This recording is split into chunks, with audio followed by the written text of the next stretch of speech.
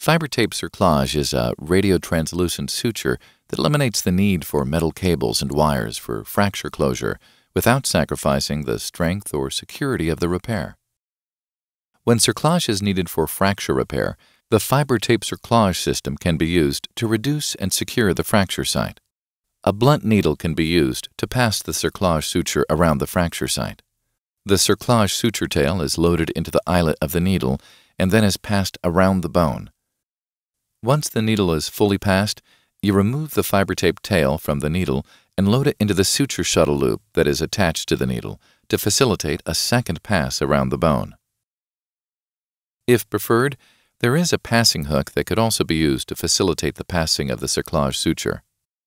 The hook is placed around the bone. Then the FiberTape cerclage suture tail is loaded into the eyelet of the hook along with a FiberLink suture.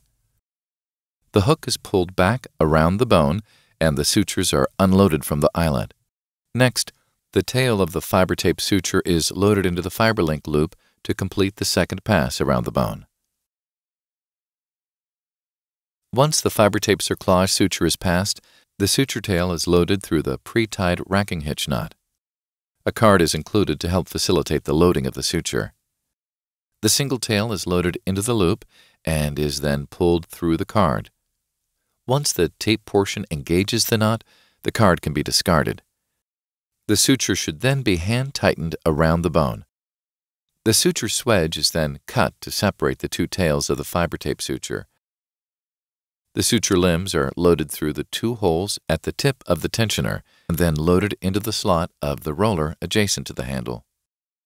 The suture is then tensioned to the desired tension. The tensioner is pulled back and a half hitch is added. Again, the suture is loaded into the tensioner and the half hitch is tensioned to the desired tension to lock down the repair. Two alternating half hitches are then added by hand and the suture tails are cut, completing the cerclage suture placement. Additional cerclage sutures can be added depending on the size of the fracture.